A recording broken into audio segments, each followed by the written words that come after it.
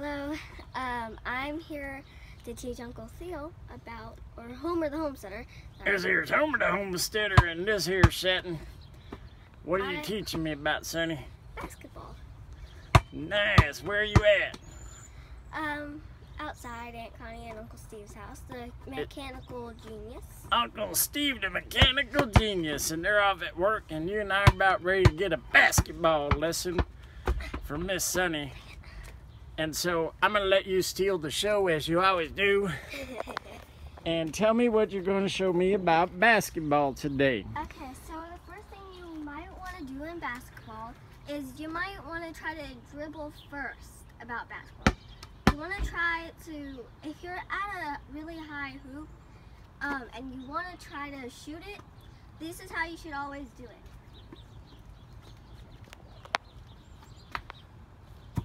And that's why you don't ever shoot like this. You don't ever shoot like this. Because then that would just mess it up.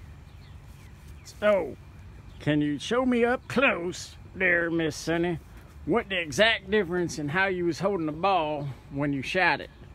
So, So- I do this, Uh huh. and then and then you just throw it. You just throw it up All right. like that. And then boom, it goes way high up to a very high rim, right? So the way I was show, showing you wasn't exactly like I had seen. So this is the way you normally see on TV shows, right? But it doesn't. So if you do that, it messes up. It doesn't go as straight. So, oh, but you made it in the basket that time. Are you telling me all them folks up there in the NBA been shooting wrong all these years? Well, if they do this, they have. But if they do this, they haven't. This is how. This is a way that most people in basketball do. Yes. So I'm also going to teach you how to spin it on your finger. All right. Whoa. It takes a while to get practice. Yeah. I think you're gonna be globetrotting here soon. So I'll show you how to dribble. All So, right. The first part in dribbling is you got to get a really good grip on it, Yeah. and you got to run from any type of speed. Any type of speed Okay, you can so dribble. I'm show you now.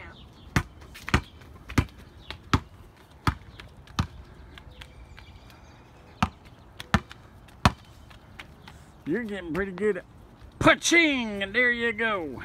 That's how you do a little bit of dribbling.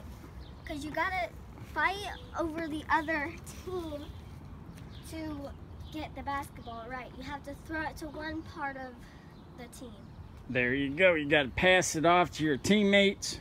before the other team gets the ball. All right. Can you tell me where uh, I can use these homesteading skills you've been teaching at the basketball?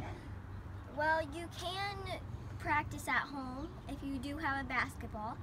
Uh huh. And you can also buy one of your if you if your basketball has no air, you can buy a pump at either Meijers if you have it or Walmart. All right. Meijers is a regional store in and around uh, Michigan, Indiana, Illinois. I think I even saw some in Ohio. So you didn't have those down there in Texas, do you? Nope. Nope. There's, these are pretty pretty much like a super HEB, aren't they?